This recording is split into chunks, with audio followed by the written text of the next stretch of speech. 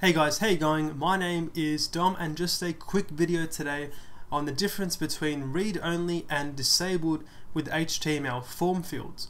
Okay, so um, basically here we have three different types of fields. We have a regular field, we have a read-only field, and we have a disabled field. So right off the bat, um, the main difference here is that uh, regular is obviously just a regular field. You can enter in um, whatever you like. For example, username, we can say dcode and that's fine. Um, and a read-only field is one where you can actually focus in on the field itself um, as if you can actually type in it, um, but you can't actually edit it. So browsers don't allow you to edit read-only fields.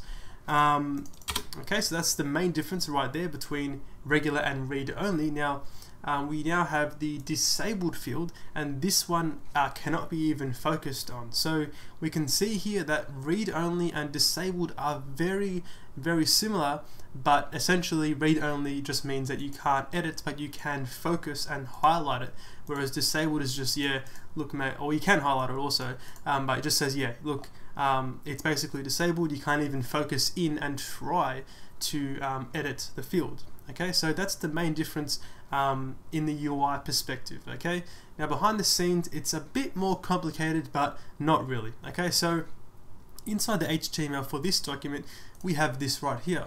We have the regular field, which is just, you know, has a name of RD, short for uh, read-only disabled underscore username. Okay, so that's the uh, form field name and we have a read-only field. We have uh, name of RD occupation, so this person is a uh, developer, and we have the read-only attribute right there. And we have also uh, the disabled field. So we have disabled uh, RD underscore country, and this one is disabled. Okay, so um, this form submits to a PHP uh, file called login.php. Okay, and um, inside that PHP file, we can see that we're simply just um, dumping out um, or displaying all of the post data that was sent with um, the request. Okay, so um, if I was to just uh, go inside the browser, type in my username dcode and press submit, we see here that RD username was submitted with a value of dcode and occupation was submitted with a value of developer. So what's happened here is that the read-only field rd underscore occupation has been sent through to the server. Okay, so the web browser is going to send through that field. Okay, whereas the disabled field is not sent at all. So um, all browsers are not going to send through your disabled form field. So um, it you know could be useful for you to output um, some of your fields uh, with a uh, read-only attribute.